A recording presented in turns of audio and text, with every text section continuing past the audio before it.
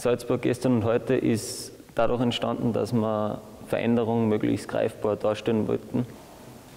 Die Veränderungen wollten wir dadurch darstellen, dass man die Elemente aus dem historischen und dem aktuellen Bild äh, eben auch in das jeweils andere integriert.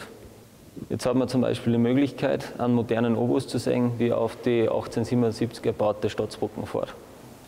Die Veränderung Salzburgs über die letzten 200 Jahre hat man sehr deutlich daran gemerkt, wenn man den Standort des Fotografen des historischen Bilds gesucht hat, um seine Perspektive einzunehmen.